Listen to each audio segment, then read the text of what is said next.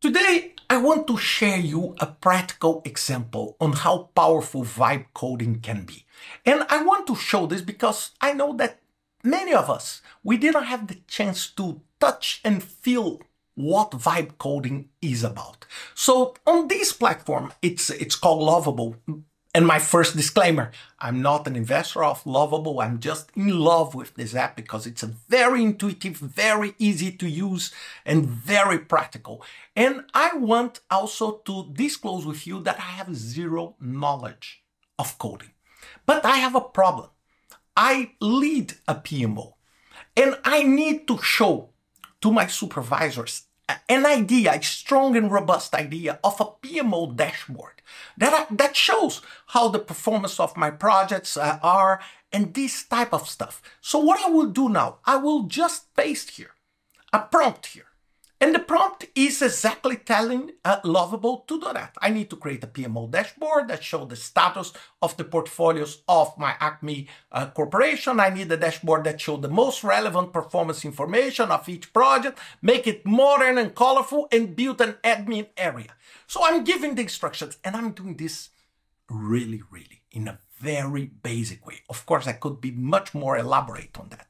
And then I will press this to send this to, to Lovable. So Lovable took my request and Lovable is trying to analyze, so speeding up preview, it's trying to analyze for me what it may do. So I love the idea of creating a modern, colorful PMO dashboard for your Acme. This type of dashboard. So it's explaining to me for the first version the first version because I can interact. The main dashboard, the project details, strategic alignment, and admin area. So design elements, it's shown here. And look, it's writing the code for me. And I will click here just for you to know. Look, it's coding for me. Look, my hands are here. I'm not developing anything. I pretty much have no idea of what is, is happening uh, here.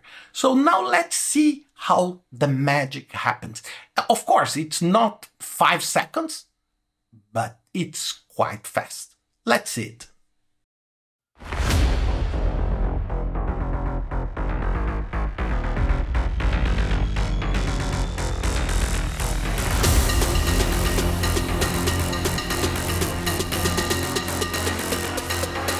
What you can see here is that I have all the information of my project.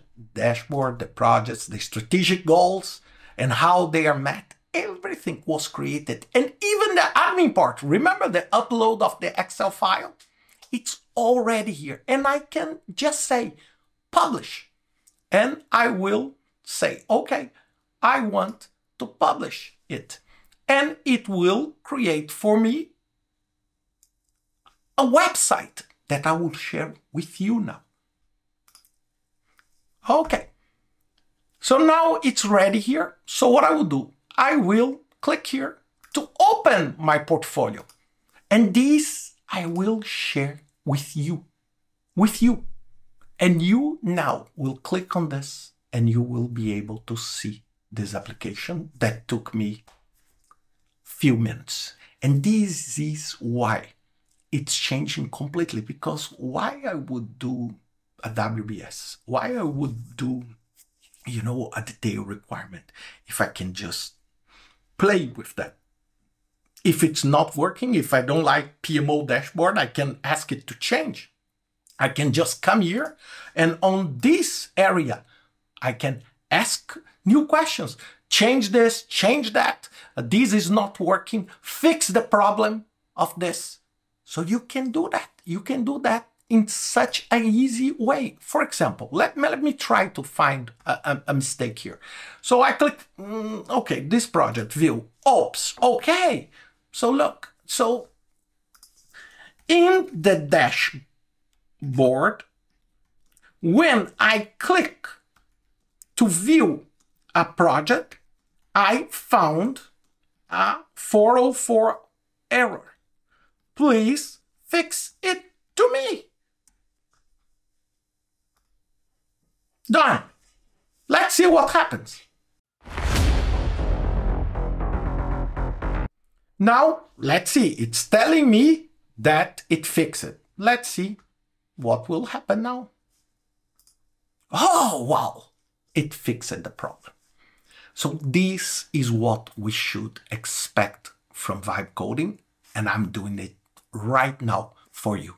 Now I know it's hard to sleep after seeing uh, something that I would say normal conditions would take probably weeks uh, to produce, taking a few minutes, but it's something for us to understand and envision how AI is moving fast and how this is impacting our work and our project. I hope you enjoyed this video and see you next time.